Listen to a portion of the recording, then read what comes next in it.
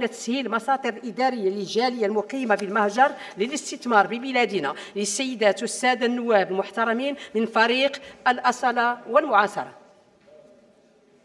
الرئيسة سيد الوزير السيدات والسادة النواب المحترمون نسائلكم سيد الوزير على ضعف استثمار مغاربة العالم والإجراءات المتخذة لتسهيل وتبسيط مساطر الإدارية.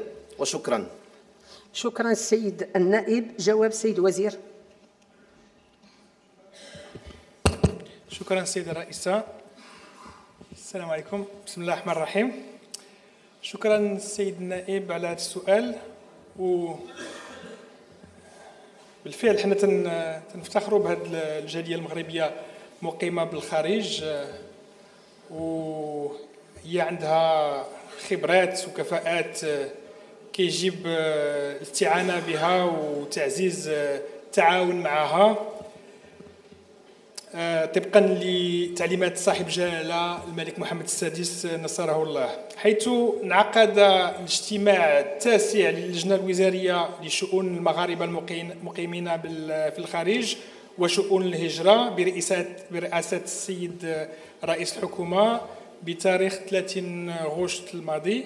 كما أن الحكومة تعمل حاليا على وضع آليات دعم ومواكبة آه، مناسبة لفائدة آه، مغاربة آه، العالم خاصة وأنهم يمثلون حوالي 5.8 مليون ديال النسمة أي تقريبا 16% ديال ديال المغاربة. كما أن تحويلاتهم بلغت حوالي 93 مليار ديال الدرهم في سنة 2021 وإن شاء الله هذا العام 2022 غنوصلوا ل 100 مليار يمكن حتى نفوتوا 100 مليار ديال الدرهم. آه ولكن آه النسبة ديال هاد آه ديال هاد التحولات كتعداش 10% في تتوجه للاستثمارات.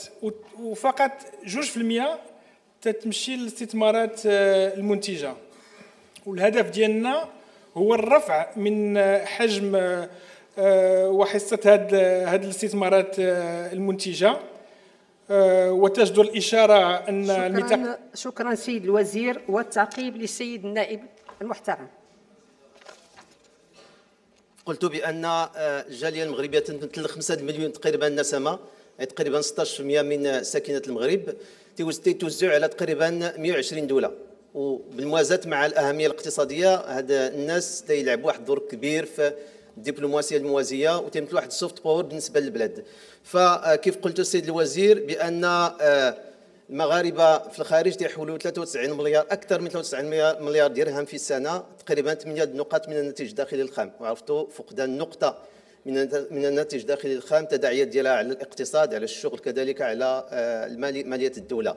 فالسيد الوزير آه، في 93 مليار كيف قلتوا بأن 25 تمشي للتضامن العائلي 15% تنظن تمشي للادخار و10% هي اللي تمشي للاستثمار الاستثمار كله تمشي للعقار تقريبا.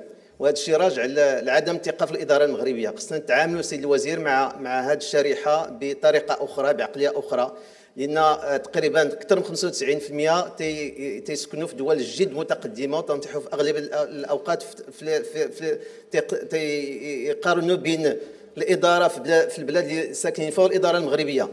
سيد الوزير الآن حنا آه، تنتحدثوا على الجيل الثاني والجيل الثالث تقريبا الجيل الرابع. آه، فكان مشكل ديال اللغة كاين مشكل ديال الثقافة في بعض الأحيان. خصنا نربط نقويو العلاقات ونشابكوا العلاقات والاستثمار أحسن وسيلة لذلك وشكرا. شكرا السيد النائب المحترم. هل هناك من تعقيب في إطار الماده 267 السيد النائب المحترم تفضل. شكرا سيدة الرئيسه سيد سيد الوزير.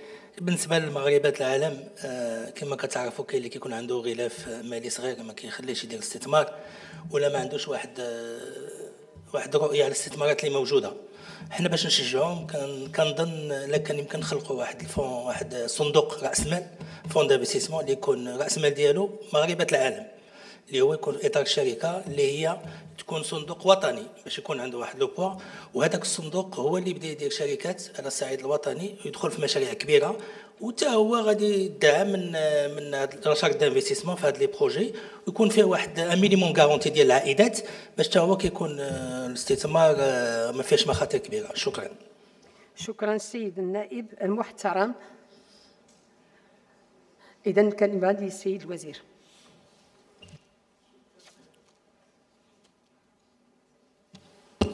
شكرا سيدة الرئيسة آه، بالنسبة للتدخل آه، كاين واحد واحد ال desk غنديروا واحد ال desk آه، تسميوه ال desk MDM ف l'AMDIE اللي غيكون هو متوجه لمغاربة العالم.